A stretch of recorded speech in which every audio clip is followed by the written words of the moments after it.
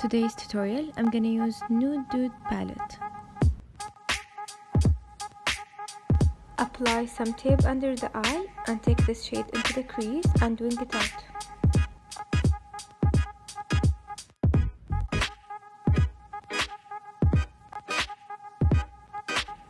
Deepen the crease and wing it out using this shade. Pick the color into the outer crease too.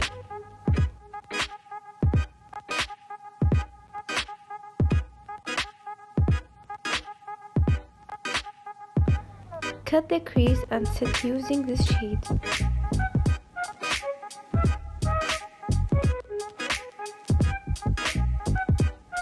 Using an angled brush and some black eyeshadow, draw on winged liner.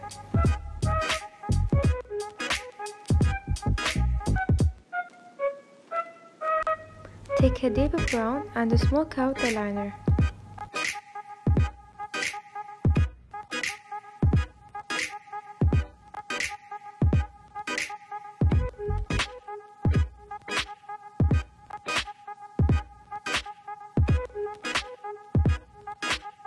Thanks for watching. Don't forget share, like, subscribe and watch the old episodes.